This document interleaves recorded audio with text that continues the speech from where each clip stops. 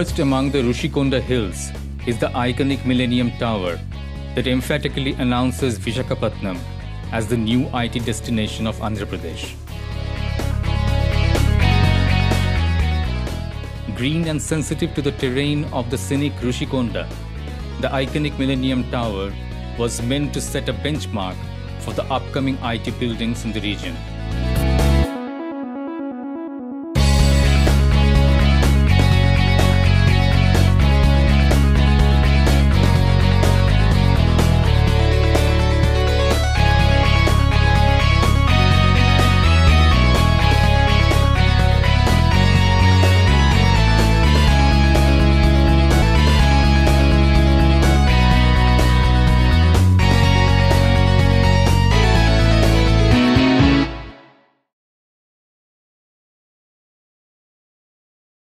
The brief given to us is that since this will be one of the first buildings made and invested by the government itself in terms of developing a state of the art um, facility, they wanted it to be something which sets the right example and is very uh, user friendly. So it meets all the requirements because a lot of IT projects otherwise uh, tend to be commercially driven with the revenue being the main focus of the building being designed.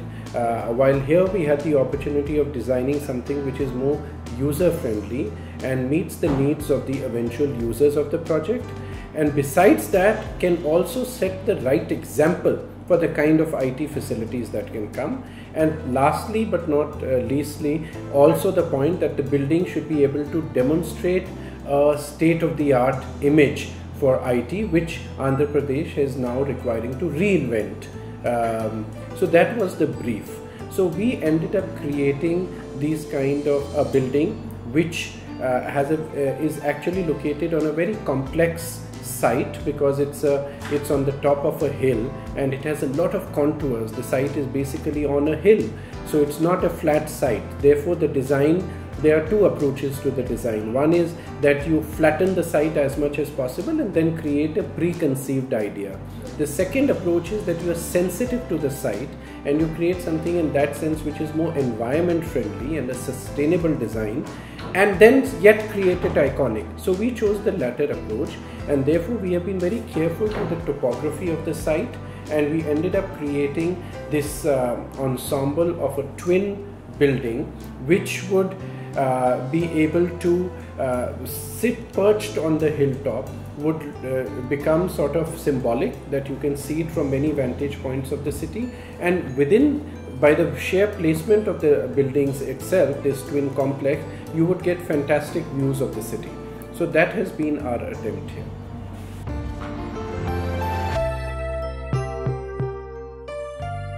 We have created a lot of spaces within the building which are not just workspaces but which are spaces which encourage a better working environment.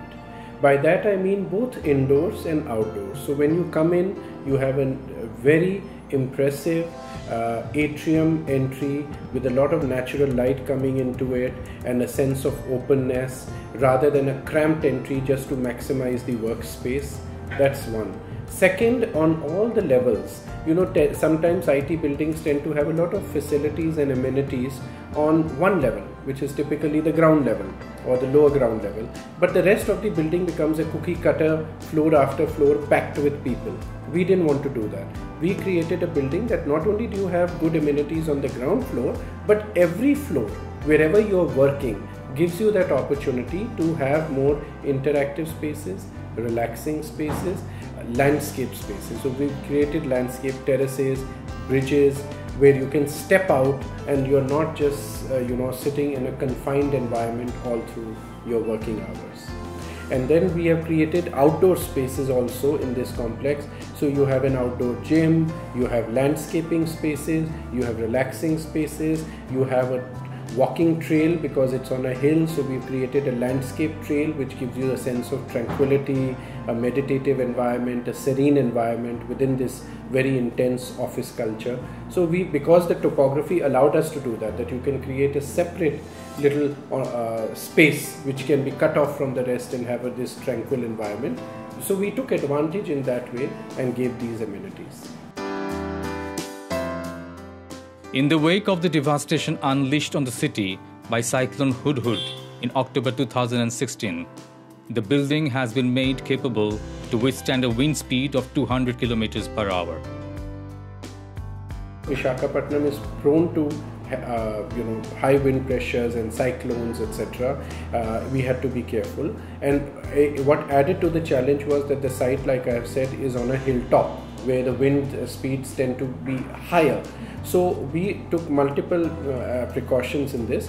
One of those has been of course that the wind loads which are usually specified by the codes we went 50% over those codes as well because these codes in India as we have seen our past experience tells us changes over time. So let's say a very uh, high intensity cyclone was to happen in, in the near future and uh, the code will change. But obviously the building can't change then at that point. So we have gone 50% over the current codes to make sure it's really uh, disaster ready then we have also ensured that there are uh, spaces within the building uh, like courtyard and uh, spaces which are created which become more protective spaces.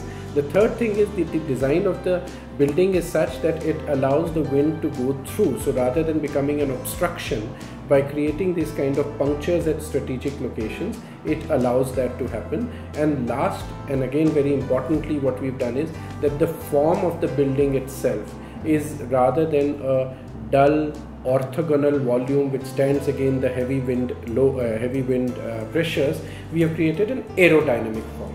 So the form of the building itself became very aerodynamic so that when the strong winds hit it just like the wings of a plane or the uh, or any aerodynamic shape that you have the the uh, wind can sort of smoothly uh, go across uh, slide, glide along the surface of the building. The basic designed wind speed for the project was 360 kgs per square meter. There are still many projects where the specification is prepared saying that the designed facade element should withstand 2 kPa. If you talk of that, then it is 75% more.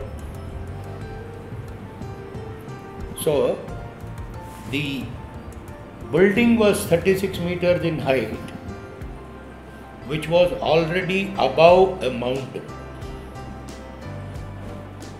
So, the entire panel sizes, the structural members holding the glass or holding the ACP were to be designed for withstanding that wind speed.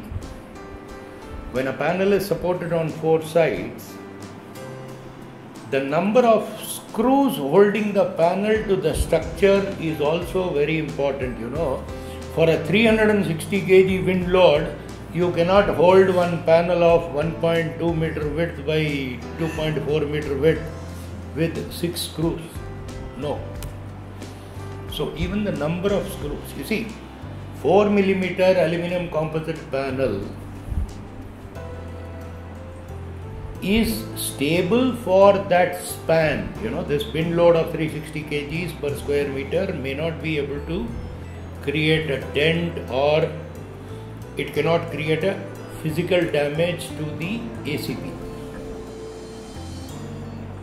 But if the ACP is not held firmly to the base structure, the building has curvatures, so the in the curvature area, what happens is the wind load gets converted into suction pressure. Right?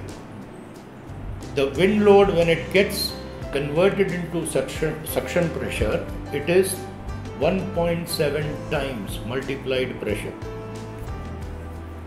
So theta at 90 degree 360 will be multiplied by 1.7 times. So the pull out, you know, in the event of suction, what happens is all elements which are installed on the facade are subjected to suction. So, getting pulled out. To safeguard this, we adopted adequate designing of number of screws to ensure that the panels are installed properly. Even in the glazing area, The number of screws were designed to hold the glazed panel to the structure in the event of the pressure getting converted into suction also.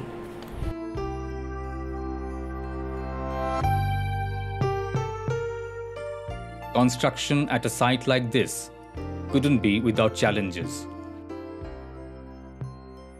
The, the wind speed of Vizag is uh, substantially high. Though mm, the location, the, the, the building is edge of the hill. The implementation was very tough. My field team really took a lot of pain. The excavation itself took more than five months since existing one infrastructure IT incubation center was there. Uh, further to the excavation also took a lot of time. The construction period also took a lot of time. You have to cut the hill and you have to do the work and uh, the wind speeds uh, sometimes our tower cranes also used to shake due to the sea breeze used to come that was the one uh, specifically some typical uh, area where uh, is a very tough to do the construction that heights but our team did nicely. So finally it has come. Beautiful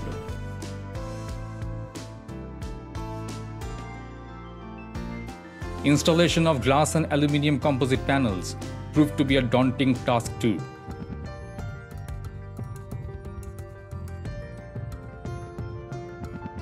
Challenging, yes, for the workers definitely because of the high wind pressure, the sheets carrying and placing them, that was more challenging, I would say.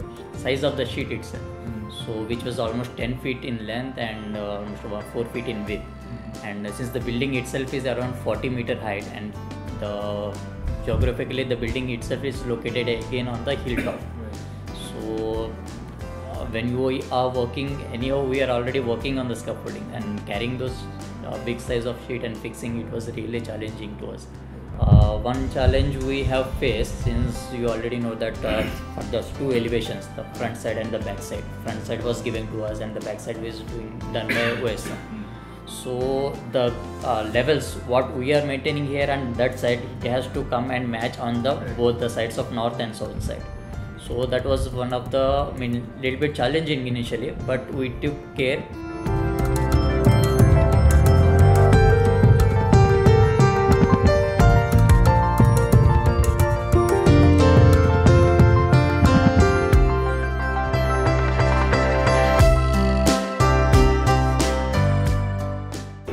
cladding works especially is on both the sides of the building. So both the elevations will be uh, joined at the top two floors. And uh, on one side of the building there is a projected slab at the sixth floor. So matching groove lines from one corner of the building to the other corner of the building horizontally and matching the groove lines uh, vertically from the terrace level to the uh, projected slab levels were a bit uh, challenging uh, job for us which we have done successfully. Pergola because of the shape, design and uh, uh, so that is taking a lot of lot of time. Uh, hardly you could say not more than 10-15 square meters a day is what we are able to achieve which is very low for uh, ACP. Yeah, because of the shape. Because of the shape, it's a unique shape, and one option we had either we would have made it a square, but then again it wouldn't be any challenging, and uh, so it had to go with the building shape and concept design.